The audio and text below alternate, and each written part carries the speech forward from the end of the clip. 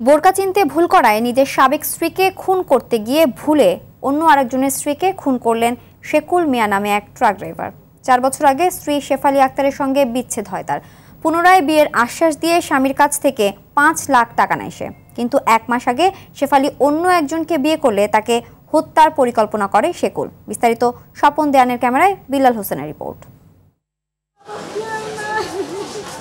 Dhaka medical college মর্গের সামনে বোন আশা সিদ্দিকার জন্য এভাবেই আর্তনাদ করেছিলেন বড় বোন খালেদা।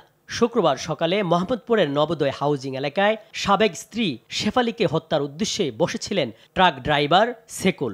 শেফালিকে বোরকা পরা অবস্থায় একটি রিকশার মধ্যে দেখতে পেয়ে এই রিকশার পিছু নেন সেকুল। রিকশাটি গতিরোধ করে ধারালো অস্ত্র দিয়ে একের পর এক আঘাত করেন ড্রাইভার সেকুল। রিকশা থেকে নিচে পড়ে গেলে দেখতে পান এই নারী তার স্ত্রী নন। বাদ দিয়া যাওয়া নবদের চাই রাস্তা মাথায়। একে ধরছে ধইরা আমার বোনদারে শেষ। আমার বাড়ি যারা মাসে তারা শাস্তি হয় আর কিছু চাই না আমি।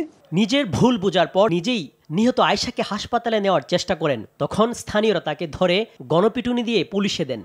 আয়শার স্বামী রুবেল হোসেন জানান রিক্সা করে কর্মস্থলে যাওয়ার পথে তার স্ত্রীর গতিরোধ করে বুঝে ওঠার আগেই পিঠে ও হাতে এলোপাতারি ছুরিকাঘাত করে। এই ব্যাপারে মামলা করতেও নারাজ নিহতের স্বামী। না আমরা মামলা টামলা করব না কোনো কিছু। এই থানা পুলিশ দৌড়াদৌড়ি করার মতো কেউ নেই।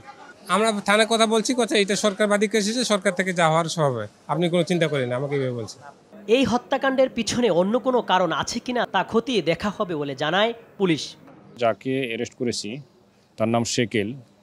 সে তার ঘটনা সম্পর্কে পুরোপুরি দায়িত্ব স্বীকার করেছে। প্রাথমিকভাবে যতটুকু আমরা জেনেছি যে সে তাকে কোনোভাবে হোক বশ করতে চেয়েছিল বা তার পারিবারিক কোনো একটা উদ্দেশ্য নিয়ে এই ঘটনাটি ঘটিয়েছে। তো আমরা তদন্ত করে বিস্তারিত বলতে পারব। নিহত আয়শার পেশায় একজন গার্মেন্টস কর্মী। তার গ্রামের বাড়ি দিনাজপুর জেলার ভাবানীপুরের বানিয়া গ্রামে। বিল্লাল হোসেন আর ঢাকা